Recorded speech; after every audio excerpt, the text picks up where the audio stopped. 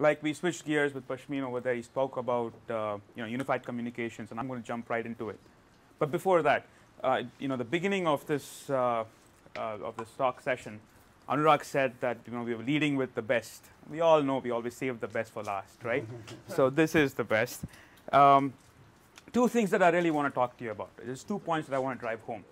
How many of you are very familiar with enhanced SR, I'm sorry, SRST, the classic survivable remote site telephony? Yeah. Right. For you guys, you would know that in classic SRST mode, if you had speed dials, right, if you had all these fancy features and services that you had on your phone, if you went into SRST mode, you lose all of that, right?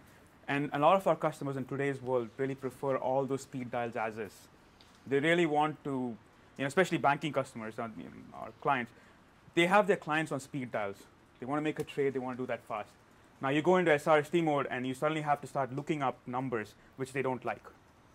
So that's the first thing we're doing. We are preserving that look and feel even in survivable mode, and that's called enhanced SRST. Right? So I'm gonna, uh, I wish I had a clicker. Right. So just to reiterate that point. So here are two phones. One is configured for enhanced SRST. One is configured for classic SRST. In SRST mode, once you lose WAN connectivity, you can see that Rob's phone has only the primary DN, and that's it. Whereas Joe's phone over here has all its features still survived. So that's the first thing we're trying, we did with enhanced SRST. Now let's take the second point that I want to drive home. The second point is manageability.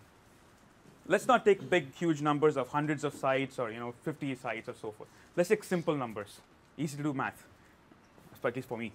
10 sites, right? You have 10 sites. Let's say you have five users in every site, so that's about 50 users. Let's say you have you know, three to five extensions or speed dials or some sort of services running per phone. That's a lot of CLIs that you suddenly have to configure. How much is that? Five times 10 times five. Right? A lot of CLIs. See, I, even that math wouldn't work with me. I should take smaller numbers. But those many CLIs, you would have to configure. I mean, most people are experts with GUI. They like to go ahead and you know configure the call manager with their GUIs.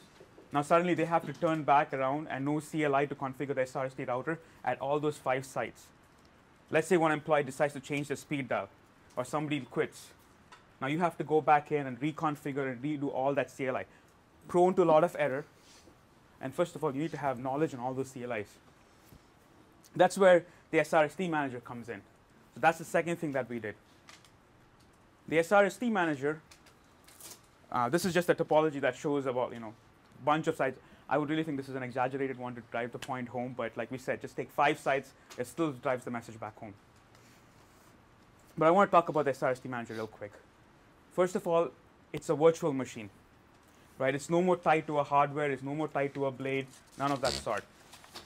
Call manager is virtualized, so is the SRST manager. You can install this right on that same UCS server. The second point is it go it logs into call manager, right?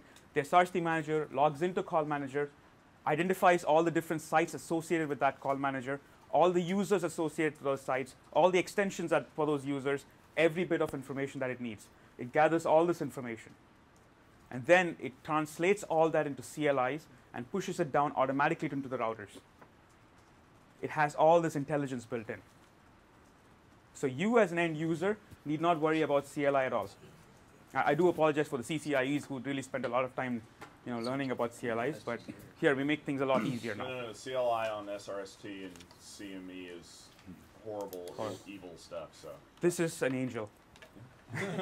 it's going to make things a lot easier. Is this going to be rolled into to Unified Communications Manager instead of being a separate server? Um, there are no concrete plans right now, but that's something that maybe the team will look into it.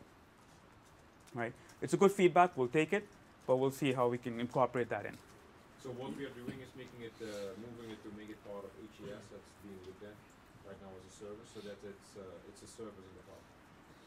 Interesting. But in the long term, if you're asking whether another GUI tab under Call Manager itself and incorporate this in, probably. Well, you know, you, you know, there's like a billion different BUs, and Right, all right. different product well- groups within each one, and you end up having, you know, oh, whi- which 14 different servers do I have to get running to make a call? e- even Right. if it Fair doesn't- point.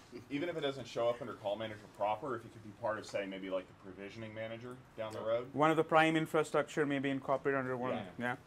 Yeah, I totally agree. Valid points. We'll take this that. is a, this is a valid workflow for that. It's like set up call processing, voicemail. Now make it so that it can survive a WAN hit. Yes, So that that would be fine with me. yes, agreed. Perfect. Uh, I know I've got a person in the back with a time clock on my, so I've got it also rushed like my previous, all the predecessors. So real little bit more information on the SRST manager. We said it's virtualized, so it supports ESXi 4.1, 5.0. Um, you know, that's just a bit of information for folks on Bridge uh, for you guys to read through later. The amount of v, you know, virtual CPUs required and stuff like that to install the SRST manager. Yes, please. No, you mentioned an interesting thing about hosting this up in the uh, up in the cloud at like the WebEx cloud.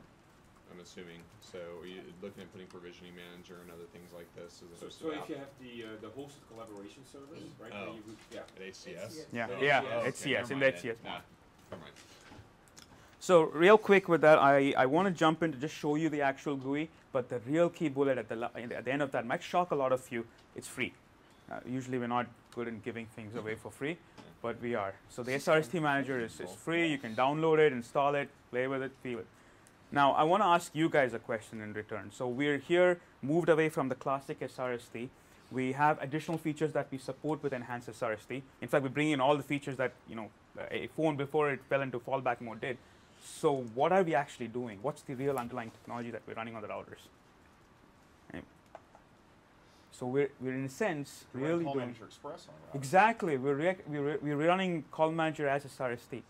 So that's a key thing that we have to know that that's using that field rich functionality in the router and, and enhancing it to make it much more resilient for survivability. Well, I mean, I've had to do this for years because SRST is considered to be redundancy, not call processing functionality. And thanks to government rules, redundancy is a four-letter word. So, uh, you know, I've been trying to do this for a while, and this is awesome. So, Great, I'd like to hear those words. Awesome, yes. Uh, just a bunch, quick snapshot on number of features that we do survive. Yes, a minute 47, and a bunch, of features that we do survive. I mean, you know, what we do with our CLIs today.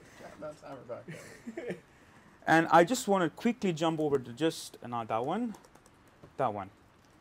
Give you a feel of what this, the manager, you know, the, the dashboard looks like. It's just like Unity Express now.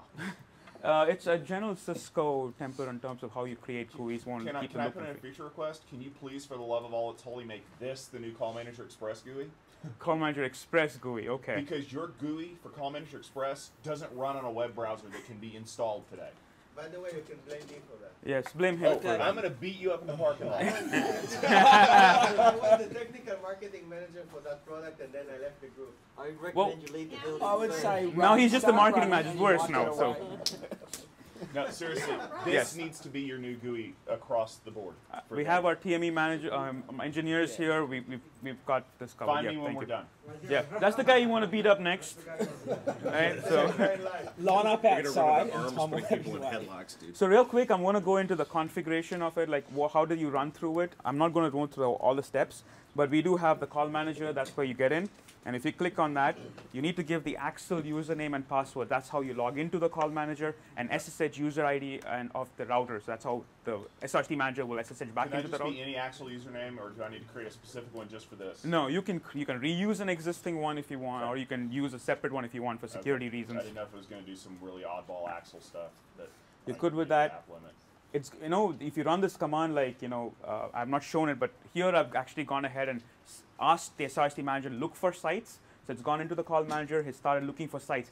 Can go up to a thousand sites. Tony, please correct me if I'm wrong. Two thousand sites. Now, this is just the ESRST part. This isn't SRSV, right? This is not SRSV, and no, there's nothing to do with SRSV. Okay, so you can't do any SRSV stuff from inside of this? No, Okay, well, And- that's fine. and SRSV is a totally it's being changed. There's Unity connection coming on the blade, and that Okay. would be your next SRSV. Awesome, thank you. Uh, pretty much, uh, I'm sure Tony. I mean, time's up, but you know, I can. You can again. I said download this and stop, play with it. I, I like to leave with that last aw- awesome thought in my mind. So, thank you.